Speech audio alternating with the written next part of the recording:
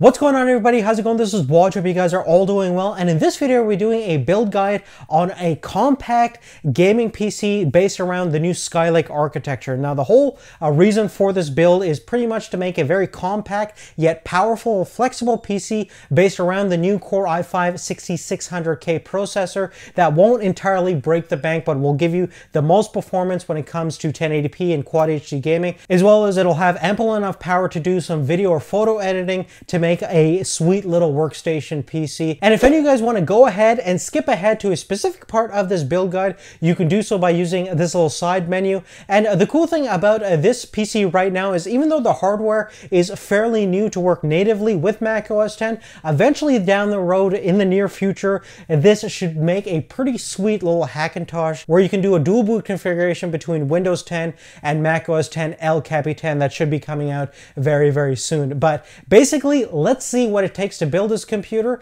And uh, if you're a beginner, don't worry, just follow my steps and you should have a pretty sweet machine at the end of this. Okay, so the first thing we're going to talk about is the parts that we're going to use to make this computer. Now, we're going to be basing everything around the Core i5 6600K. Now, if you recently watched our video where we compared the new Skylake processors to a 6-core Intel 5820K, definitely check out that video if you haven't already. And basically for gaming, we found out specifically for gaming, there's really not going to be a big difference between a 6600K to a 6700K to even like something like a 5820K 6-core core CPU. Basically, gaming is still a GPU dependent task, and it's perfectly fine in using a Core i5 processor in order to do pretty much any kind of gaming that you can imagine. So that's quite fantastic. And with this 14 nanometer architecture, the 6600K is really overclockable. You can easily get this in the mid 4 gigahertz range. You can even push it further depending upon what kind of cooler you're going to use. And speaking of cooler, we're going to actually go with a pretty simple water cooling solution, the Corsair Hydro Series H60. This has been around for quite a while now, but it's going to give you plenty of overclocking performance for the price. So it's an all-in-one liquid solution, and this should be perfect match for our 6600K. Now, in terms of RAM, we're using the 8 gigabytes DDR4 from Corsair. This is the LPX memory. It's clocked around uh, 3000 megahertz, so plenty of speed, and uh, 8 gigabytes should be enough for us uh, right now. And of course, we can upgrade down the road. Now, for our motherboard, we're going to be using the Z170M DH3 from from Gigabyte, this is a micro ATX board, so it's going to fit perfectly with our compact gaming PC idea. And the great thing about this board is it comes at a very competitive price point, and it offers all the latest features that you're going to find on any Z170 chipset. So you have stuff like a DDR4 memory natively built in, as well as all the latest stuff like PCI Express 3.0, SATA 3, M.2 connections, and plenty of USB Type uh, 3 connections as well. So lots of uh, excellent features on this board which is going to be great for our overclocking needs as well. Now for our storage solution, we're actually going to be using two types of drives. We're going to be using the HyperX Predator 240 gigabyte M.2 memory module. This is an absolute speed demon of an SSD drive. It's going to give us absolutely insane read and write performance. And since our motherboard has built-in M.2 support, it's going to make a nice, tight, integrated package. We're also going to be using the Patriot Ignite 480 gigabyte SSD drive. The great thing about this drive is it comes in a pretty affordable price tag uh, considering that it is still an SSD drive and we're going to basically use it for storing games and applications and anything that doesn't fit on our main OS drive. Now for our graphics card we're going to be using the Gigabyte G1 uh, GTX 960. We're using the uh, 2 gigabyte uh, DDR5 version and this is pretty much one of the best graphics cards that you can get for around that $200 mark. And in terms of most of its gaming performance you're going to have no problem in terms of playing most of your games at high frame rates at uh, full 1080p resolution and perhaps some quad HD resolution. Now, if you guys are interested in amping up your gaming performance even more, the two graphics cards that I would recommend would be the GTX 970 or the R9 390. Both of them are going to give you excellent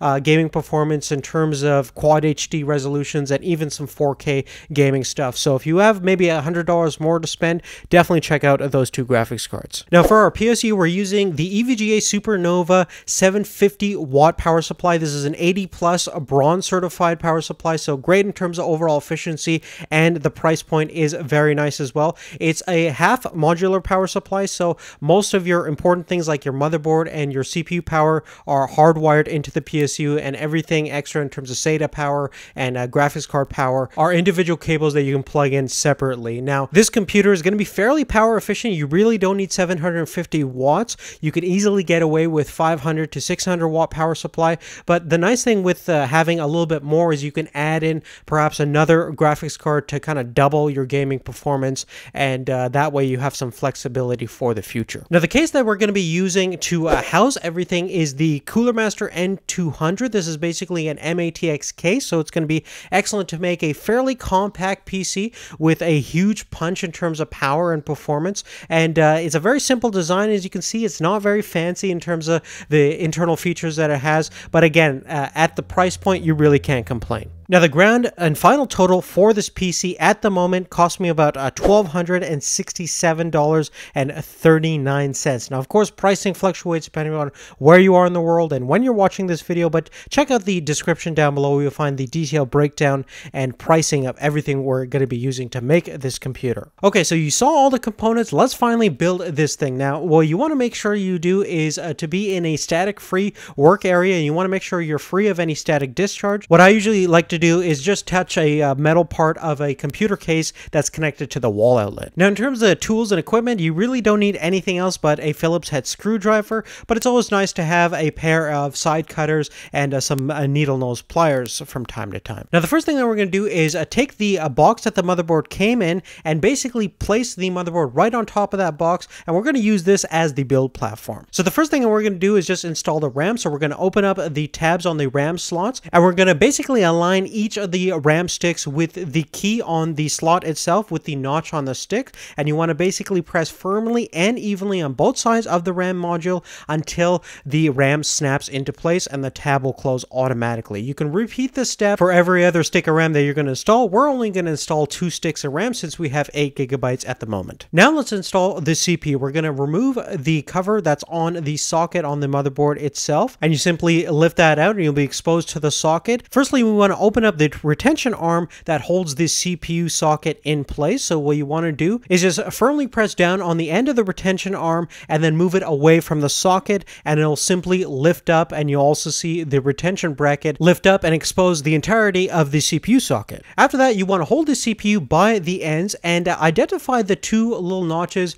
uh, typically located on the top left and right corner of the CPU. This will uh, help you align the CPU appropriately. You'll also see a little triangle on the bottom left hand corner, which again, you'll match appropriately to the uh, bottom left hand corner triangle located on the socket itself. This part is uh, generally pretty easy. You just want to be gentle with everything and make sure your alignment is correct. And if it is, you can now lower down the retention bracket and also lock into the retention arm in just the reverse order that we used to open it in the first place. Next, what we're going to do is install our M.2 memory module. This is basically going to house our operating system and some of our essential applications. And uh, you'll see the M.2 located directly onto the motherboard. In this Gigabyte motherboard, it's kind of located right below the CPU, so it's pretty straightforward to see, and it only goes in one way. And once you have your M.2 module connected to the M.2 slot on the board, you can just simply secure it with a small screw directly onto your motherboard,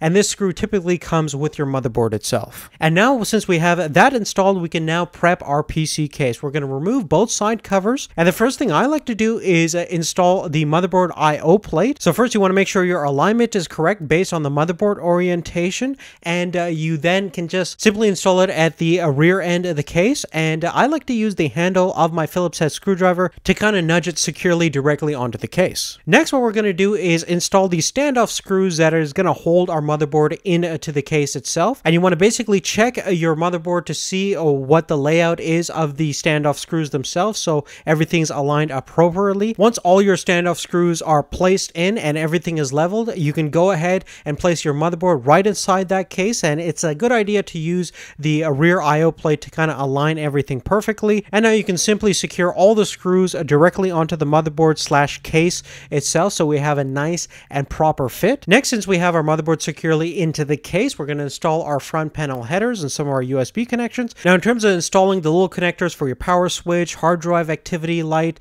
reset switch, all those things, it uh, is a little bit tricky at times, but again, refer to the manual in terms of their proper orientation. On this Gigabyte motherboard, we actually install all the little connectors individually directly onto the board, and they're nicely labeled on the board as well, but again, refer to the manual if you have any kind of confusion. But once you have all those uh, little connectors in, you can go ahead and install stuff like your USB 2.0, your uh, front panel audio connections, as well as your front USB 3.0 connection directly onto the board itself. Now, once we have all that done, we're going to install our uh, CPU cooler, and the first thing on most of these Corsair coolers is you're going to install the rear backplate, and basically the backplate is consists of four adjustable screw holes, and you're going to basically match it to the appropriate socket that you have. In most cases, these Corsair coolers are fairly universal for most modern day motherboards, and uh, once you have the uh, holes peeking through out the PCB, on the other side, you're going to install these standoff screws that also came with the cooler itself, and you want to make sure everything is evenly and securely tight on all four corners. And then you could take the water block slash uh, pump that typically has thermal paste already installed, and you want to make sure you're directly above your CPU and you have even contact, and go ahead and screw in the thumb screws that came with your cooler onto the standoff screws, securing your cooler in place. Next, we're going to install the 120 millimeter fan to the radiator and simply use the long screws that again came with the cooler to install the fan directly onto the radiator. Now, you could be innovative in terms of what kind of airflow strategy you're going to use. I'm simply going to use an exhaust method, so I'm going to have cold air coming at the front of the case, and then this fan will take that hot air and exhaust it out uh, directly through the radiator. The only thing left to do now is install our radiator directly onto the rear end of the case, and I'm just going to simply use some thumb screws to secure the radiator at the back of the case. Now you can install the fan and water pump power connections directly onto your board, typically where it says CPU fan. Next, you want to take your PSU and place it at the bottom of the case, and uh, like most PSUs, you simply install it by four Phillips screws at the back of the case, and thus you can go ahead and connect the power for the 24 pin motherboard connection as well as your 8 pin CPU power. At this point, if you want, you can also install some of your system fans from the case to the motherboard itself, and it'll be powered directly uh, through the 24 pin connection. Moving forward, now install our 480 gig SSD drive, and the nice thing is you have a couple of areas where you can place SSD drives in the N200 case. I'm just going to simply uh, install it at the bottom area, uh, easy access for the hard drives if I ever want to swap it out for whatever reason. So I'll screw that right into place and then connect my SATA power and my SATA data transferring cable uh, from the board to the drive itself. And as you can see, installing drives is a pretty simple and straightforward process. Now, last but not least, we're going to install our GPU to our computer. And what you want to do is basically uh, align up the PCI Express connection that we're going to use and then remove the PCI Express covers located on the left hand side and uh, just simply slot the GPU into that uh, 16X 3.0 slot. And then you can secure the GPU onto the case using the two screws that we use to remove the covers and uh, simply install your two 6 pin power connections coming from uh, the power supply to the graphics card itself. And that's pretty much it. If you've gone to this point, you've now built your computer and you're ready to install your operating system and install all your applications and your games. Now let's get into some of the benchmarking and performance results that we got out of this little compact PC. Now in terms of the overclock ability, you can definitely overclock this thing to around uh, 4.7 gigahertz at around uh, 1.38 volts. And based on our cooler, you really don't see the temperature go beyond 75 degrees Celsius, which is definitely nice to see. We can probably even optimize uh, this system even more, uh, given a little bit more time. And plus, uh, down the road, you can probably upgrade the uh, water cooling system to a custom water cooling loop with a even larger radiator for better heat dissipation. Now, in terms of power efficiency, uh, to test out the real world power consumption, I basically played Grand Theft Auto 5 for about 45 minutes, and out of the wall, the computer didn't draw anything more than around 364 watts, which is definitely very nice to see there. Uh, with the new Skylake architecture, uh, power efficiency is also up, and we can see that example right over here. Now, in terms of CPU specific performance, we'll start with a Cinebench R15 benchmark, and based on on our overclock setting, about 4.7 gigahertz. Our 6600K scores about 780 points, which is uh, definitely impressive to see. That's almost to the performance of what we found some last generation Core i7 processors. So uh, you're pretty much getting the power of uh, the previous generation Core i7s in this new Core i5. In terms of the Geekbench 3 performance test, the multi-core score scored around 16,000 points and the single core was about 5,100 points. So definitely very impressive to see there. And moving on, another great thing about this computer is how fast the sequential read and write performance is thanks to our M.2 uh, Predator HyperX SSD drive. So with uh, Crystal Disk Mark, you're getting about 1.5 gigabytes per second in terms of sequential read speeds and over 650 megabytes per second in terms of sequential write speeds. So this system is definitely faster than any kind of 2.5 inch SATA 3 drive you can install. There's only a handful of consumer drives that can really compete with this M.2 in terms of read and write performance, and uh, this is probably the best when it comes to the value aspect of things. Now let's take a look at the graphical performance of this PC. We'll start with a synthetic benchmark using Unigine's uh, Heaven benchmark at, at uh, 1080p ultra settings, 4 times anti-aliasing. With our Gigabyte G1 GTX 960, we're getting about an average frames per second about 45.7 and a uh, score about 1151. And moving on in terms of real world gameplay performance at Far Cry 4 Ultra 2X MSAA at uh, 1080p, you're getting about 46.2 average frames per second according to Fraps. And at uh, Quad HD resolution, you're getting about 30.4 frames per second. Moving on to Call of Duty Advanced Warfare at full maxed out settings, FXAA at 1080p, uh, you're getting 81.6 average frames per second. And at Quad HD, you're getting about 57.8 frames per second. Moving on to Dragon Age Inquisition at ultra settings, 2 times MSAA. At 1080p, you're getting a very playable 47.2 average frames per second, and at Quad HD, about 28.6 average frames per second. So even if you're going to be using this computer on a Quad HD monitor, you're still going to be able to play most of your games at fairly playable frame rates. And the great thing about this platform is if you do want better gaming performance, go pick up a GTX 970 or an R9 390, as we mentioned earlier. And with really either of those GPUs, you're going to see a massive improvement in terms of your gaming performance,